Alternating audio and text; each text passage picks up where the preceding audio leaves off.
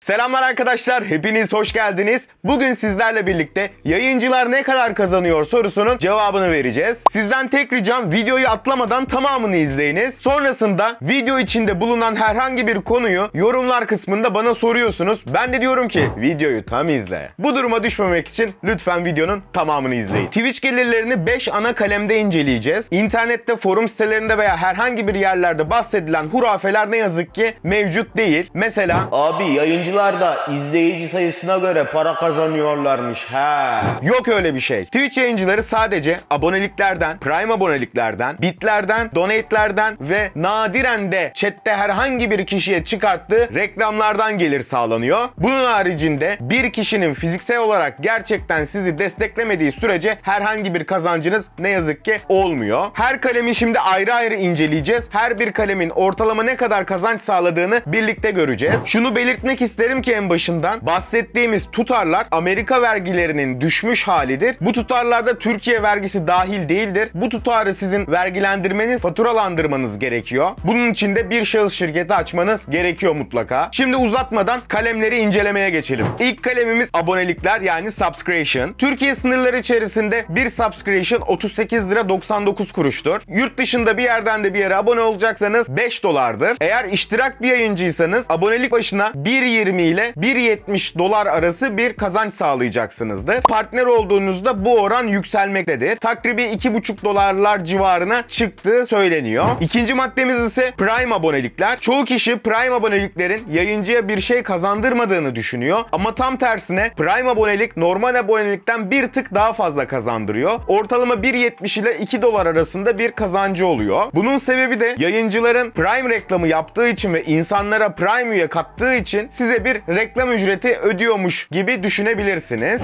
Üçüncü maddemiz ise bitler. Bildiğiniz üzere bir bitten 1 milyon bite kadar istenildiği kadar tutarda bit donate'i yapılabiliyor. Donate'lerin de kazançları her 100 bit için 1 dolardır. Abonelikler kadar yüksek bir kesinti olmuyor bitlerde. Bitlerin yayıncıya geçen hak ediş kısmı oranı bir tık daha yüksek. O yüzden en güzel, en tatlı destek bit desteğidir bence. Dördüncü kalemimiz ise donate'ler yani bağışlar. Buy No Game, Oyun for, Game for gibi sitelerden insanlar sizlere TL olarak direkt donate atabiliyorlar. Ama burada donate alacağınız firma ile anlaşmanızı yapmadan önce mutlaka ve mutlaka komisyon oranlarına bakınız. Şu anda bildiğim kadarıyla en düşük komisyon oranı Buy Game'e ait. Birkaç yayın yaptıktan sonra ve ekranınızda Buy Game logosu bulundurursanız hiçbir şekilde sizden komisyon kesmiyor. O yüzden Buy Game'i tercih edebilirsiniz. Beşinci kalemimiz ise reklam gelirleri. Ne yazık ki ben bu zamana kadar kayda değer bir reklam geliri kazancı sağlamadım. Ortalama 1000 izlenme başına 3,5 dolar gibi bir tutarı var. Fakat bu 1000 izlenmeyi yakalamak biraz zor oluyor. Bunun sebebi ise şu. Mesela ben sizin izleyicinizim ve senin yayınına gelmeden önce başka bir yayında ben reklam yedim. Başka bir yayında reklam yediğim için cooldown'a giriyorum. Ortalama bir 30-35 dakika bir cooldown oluyor. Bir izleyiciye maksimum 30-35 dakikada bir reklam gösterebiliyor. Ve ben başka yayıncıda reklam yediğim için senin yayınına geldiğimde reklam görmüyorum. Bu yüzden reklam gelirleri çok yüksek değil. Ancak izlenme sayınız 1500, 2000, 3000 rakamlarına çıktığı zaman elle tutulur bir reklam geliri elde edebilirsiniz. Evet arkadaşlar gördüğünüz gibi her şey ortada. Açık açık sizlere anlattım. Büyük yayıncılar için bir şey diyemeyeceğim ama bizim gibi küçük ve orta segmentteki yayıncılar için durum apaçık ortada. Ne yazık ki yayıncılar çok fazla kazanmıyor. Umarım sizler için yararlı bir video olmuştur. Kafanızda ufak bir fikir oluşmuştur. Hiç değilse bazı şeyleri bilerek bir işe kalkışmanız adına bu tarz içerikler üretiyorum. Bu tarz içeriklerin devamının gelmesini isterseniz eğer kanala abone olmayı, videoyu beğenmeyi ve aşağıya bir minik yorum bırakmayı lütfen unutmayınız. Seviliyorsunuz, kendinize çok iyi bakıyorsunuz. Hoşçakalın.